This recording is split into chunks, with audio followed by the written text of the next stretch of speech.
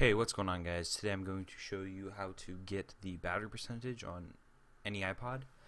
As you can see here on my iPod, it does not show the battery percentage next to the battery. And supposedly the only way to get that originally was to jailbreak, but people have found a way to show it on your iPod without jailbreaking.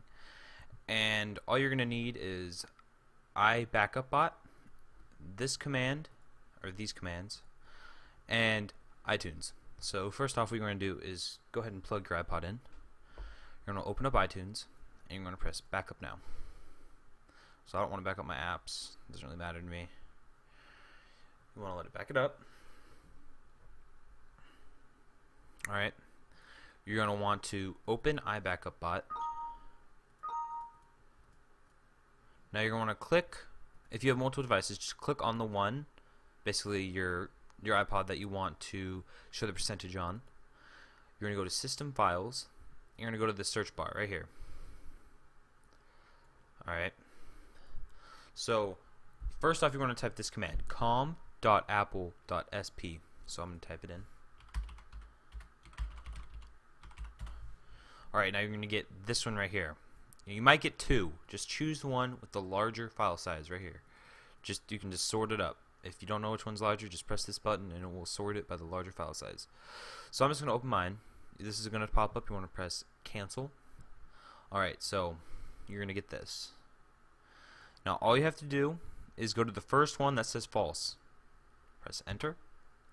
You want to take this command, go ahead and just copy it from the description, and you're just going to paste it right there.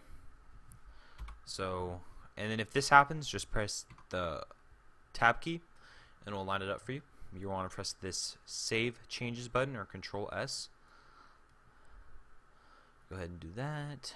Alright, now your iPod is going to need to, you need to press this restore button. Now you will not lose any files, but if you do somehow, this is why you backed it up in iTunes, and it also it backs it up. This is just modifying the backup. So basically, it's just changing your. Uh, it's just basically just changing your your backup file. So you just press restore.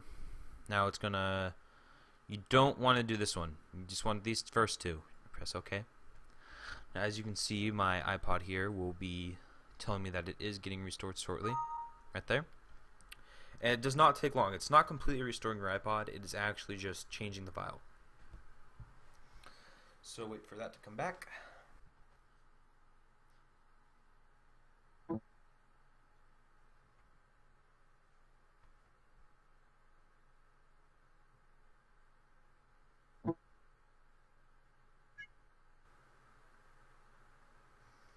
Alright guys, as you can see here on my iPod, uh, there is a battery percentage in the top corner.